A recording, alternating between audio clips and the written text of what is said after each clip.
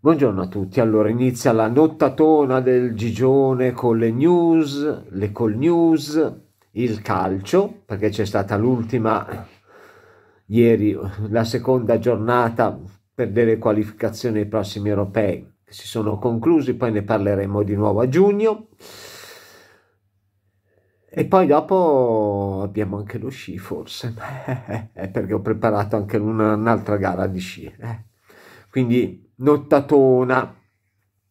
Ma partiamo subito con le news, ragazzoli. Allora, parleremo dell'attore del film di Box, che fa la parte del figlio di quell'altro che era l'antagonista di quell'altro,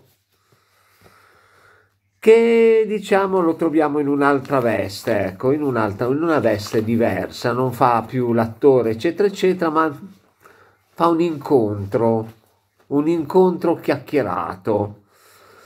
Poi c'è la conferma di quello che vi dicevo l'altro giorno.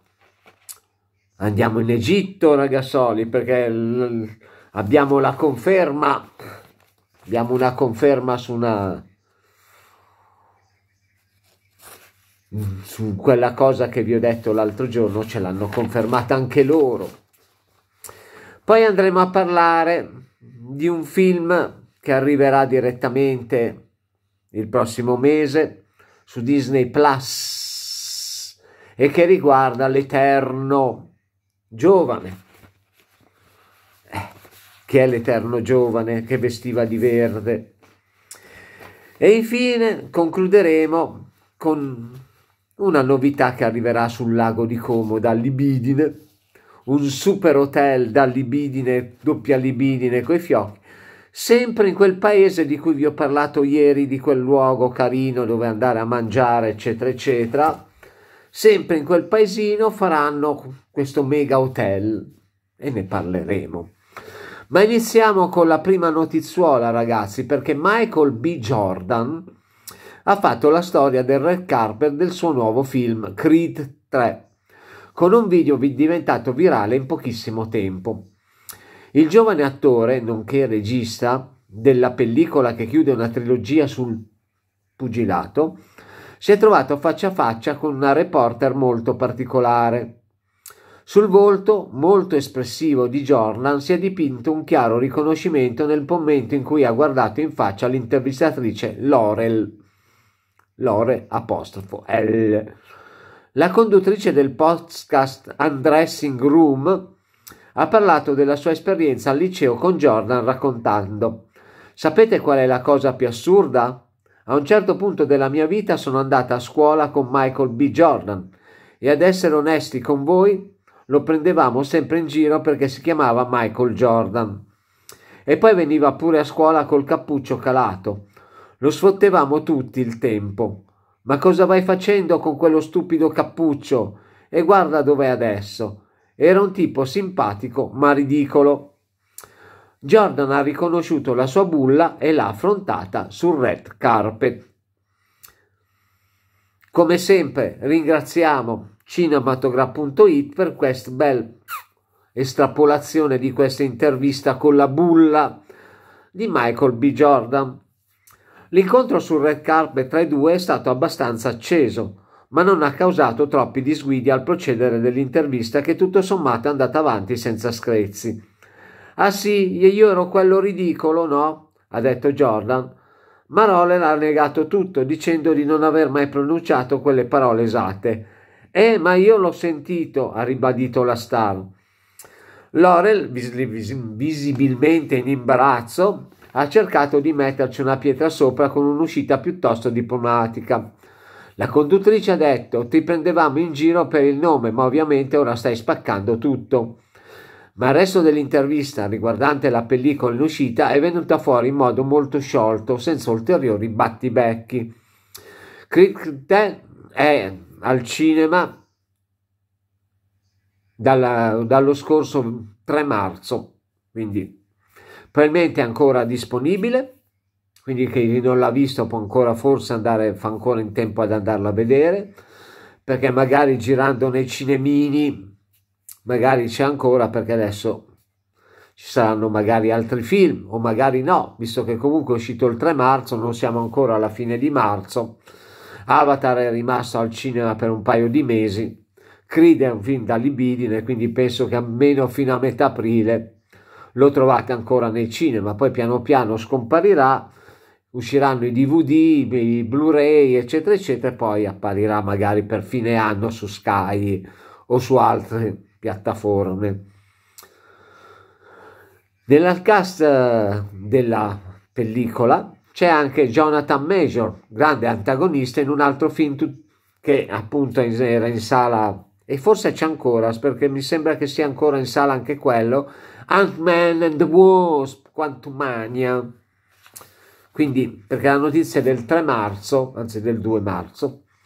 Però ragazzi miei penso che sia ancora in giro. Torniamo a parlare di Egitto perché l'altro giorno vi avevo detto che si parlava, si vociferava di questa tunnel. E gli archeologi del Consiglio Supremo delle Antichità hanno confermato il ritrovamento di un tunnel nascosto nella piramide Cheope in Egitto. La grande piramide fu costruita dal faraone Knu Khufu, Khufu noto anche come Cheope, che fu il secondo faraone della quarta dinastia durante la prima metà del periodo dell'antico regno. XXVI secolo a.C., quindi vuol dire tra il 2600 e il 2500. La piramide è stata costruita nella necropoli di Giza, sull'altopiano di Giza, con la costruzione stimata di aver impiegato 27 anni per essere completata. Inizialmente alta 146,6 metri, la grande piramide è stata la struttura artificiale più alta del mondo per oltre 3800 anni. All'interno della piramide ci sono tre camere conosciute.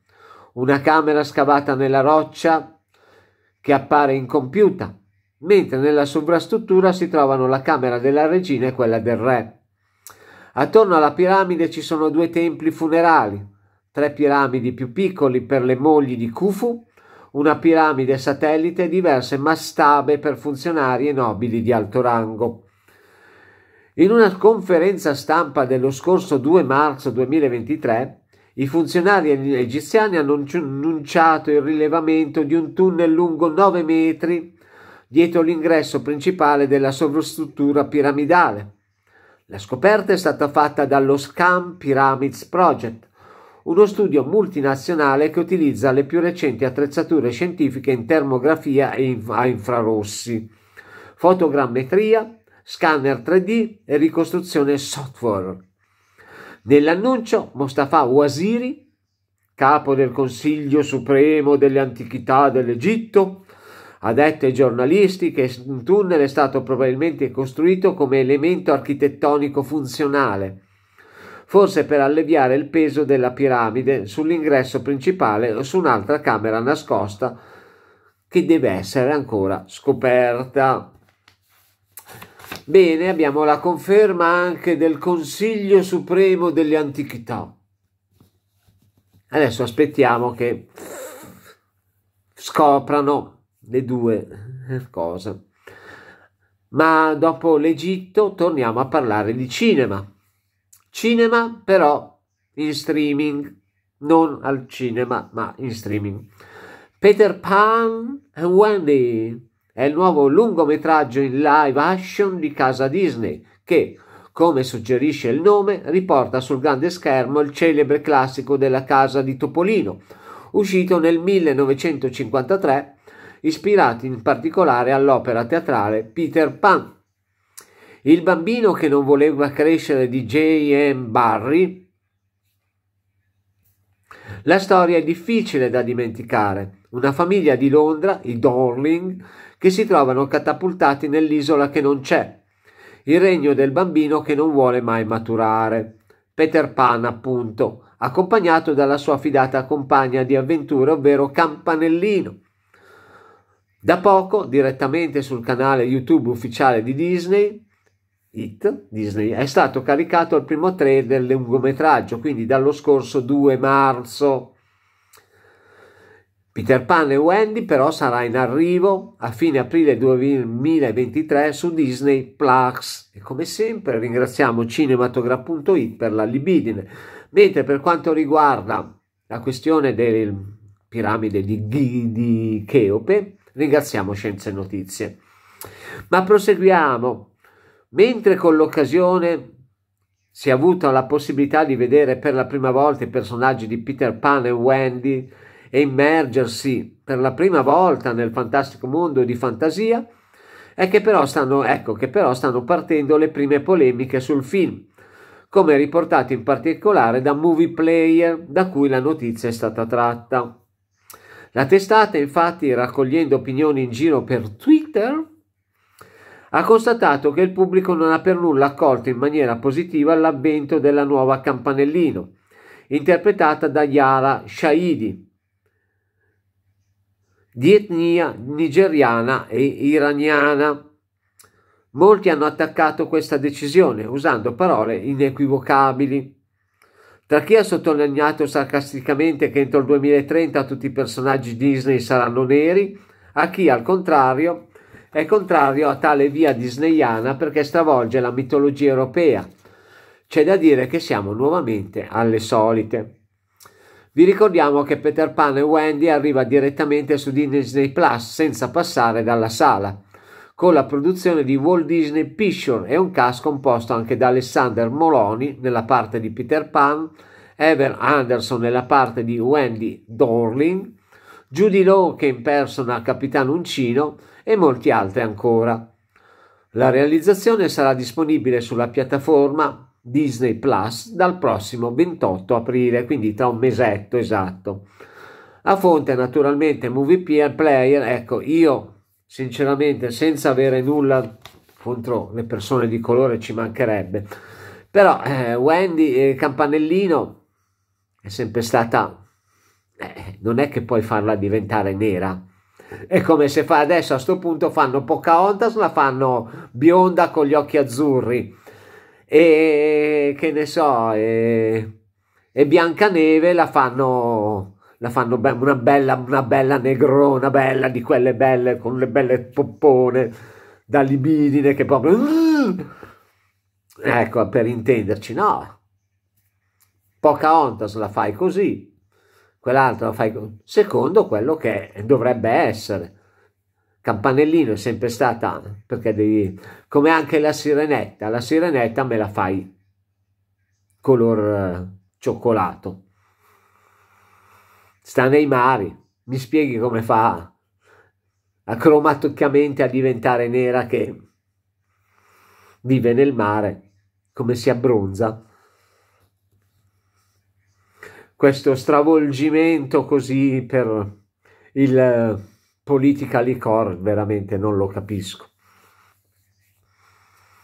Ripeto, personaggio è bianco, lo fai bianco, personaggio è di colore, lo fai di colore, un personaggio è cinese, lo fai cinese, un personaggio è giapponese, lo fai giapponese, un, un personaggio è azteco, lo fai con i colori aztechi, un, un personaggio è un indiano, lo fai pelle rossa, eccetera, eccetera, eccetera in base all'etnia e tutto quanto, senza stare lì a guardare, perché se no hanno ragione, tra un po' diventano tutti di colore e va bene. Non c'entra il razzismo, eh, ragazzi, c'entra un attimino di geografia. Eh, è come se fai un norvegese nero, ci sono, ma perché magari il papà o la mamma, o la mamma solitamente, ha sposato l'uomo di colore e ha e quindi il figlio magari è... Succede, ci mancherebbe, c'è quella bellissima canzone di Eros Ramazzotti in cui vedi le etnie che si scambiano, no? il, il musulmano con la bionda, le due ragazze che si sbaciucchiano, i due maschietti che si sbaciucchiano, il figone con il cessetto che gli chiede di sposarla, eccetera, eccetera, eccetera. Quindi è bellissima quella canzone lì. Vabbè, anzi il video, anche la canzone, ma il video è, è bello, carino. Poi anche i due anziani, no, che fanno vedere due persone anziane tanti anni assieme. Ma passiamo a un altro argomento, ragazzoli. si parla di hotel, hotel da libidine. The Ritz Carlton, un nuovo hotel extra lusso, debutta a Bellagio sul lago di Como. Il lago di Como si prepara a essere il palcoscenico in un altro importante debutto nel mondo dell'industria dell'ospitalità. Il ramo comasco si conferma ancora una volta a livello mondiale uno dei riferimenti per il turismo da libidine, cioè di lusso. Marriott International ha annunciato lo scorso 28 febbraio 2023 la firma dell'accordo con Grimit SRL per il debutto di The Ritz Carlton in Italia. Grazie a un'impondente riconversione dell'S Hotel Gran Bretagne a Bellagio, il brand arriverà sul lago di Como, una delle destinazioni più popolari in Italia, con il suo servizio impeccabile e l'estetica da libidine. L'apertura del The Ritz Carlton sul lago di Como è prevista per il 2026, quindi ci vorrà tempo e la struttura affacciata sul lago offrirà 59 camere e 46 suite, tra cui due Ritz-Carlton suite con una splendida vista sull'acqua e arredi di lusso. Il resort disporrà di un centro benessere con piscina interna, ristoranti casual e raffinati e spazi per meeting ed eventi. L'ampio parco e giardini in perfetto stile lacustre Comprenderanno un'area per la meditazione, un bel sentiero per lunghe passeggiate, una grande piscina esterna e un molo privato per consentire agli ospiti di raggiungere facilmente le altre destinazioni sul lago. Siamo entusiasti di annunciare questa firma con Grimit SRL e partecipare al restauro di una delle mete più acclamate dai viaggiatori di lusso. Queste le affermazioni di Candace de Cruz vicepresidente Luxury Brands Europe, Middle East and Africa.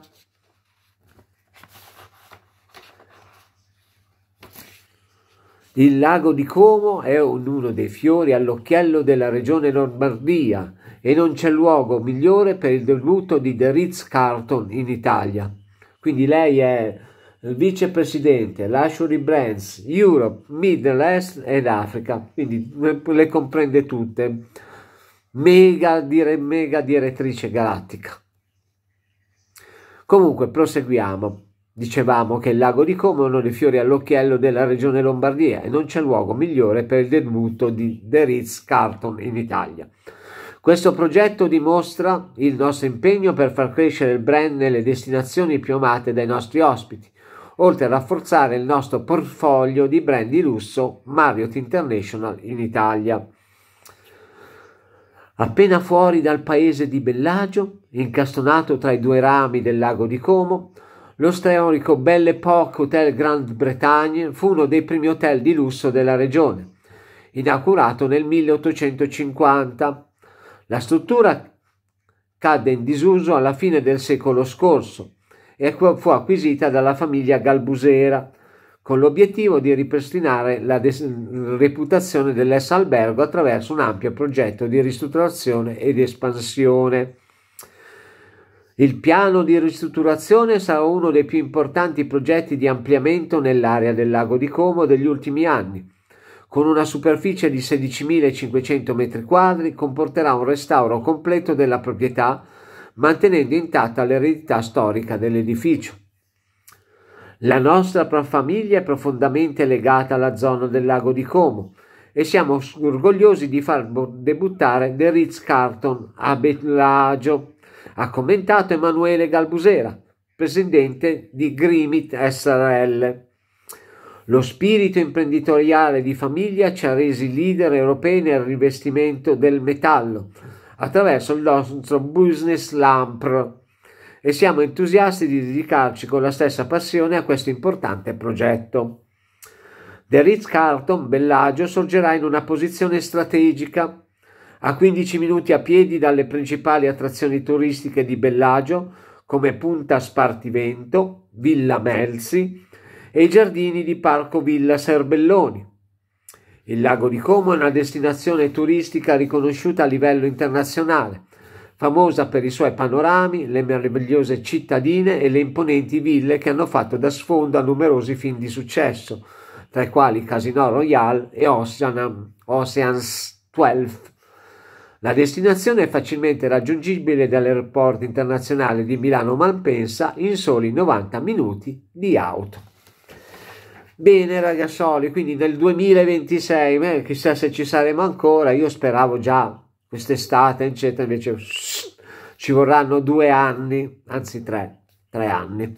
Quindi probabilmente sarà pronto per le primavera del 2026, visto che la stagione turistica qua sul lago inizia con la Pasqua di solito, più o meno, quindi all'inizio della primavera, poi dipende quando arriva Pasqua, a volte arriva la Pasqua, quando arriva, arriva. Quest'anno arriva all'8 di aprile, per dire. Altri anni capitava al 15, altri al 22, altri capitava a fine marzo, dipendeva come gli girava loro. Comunque ragazzoli, vedremo, vedremo, ne parleremo sicuramente ancora a Dio piacendo perché magari tra tre anni vi dirà ecco è sorto il... chi lo sa. Il futuro è un'ipotesi, diceva quello là. Il presente mi dice che adesso chiudo questo video e vi faccio anche le call news. Ciao!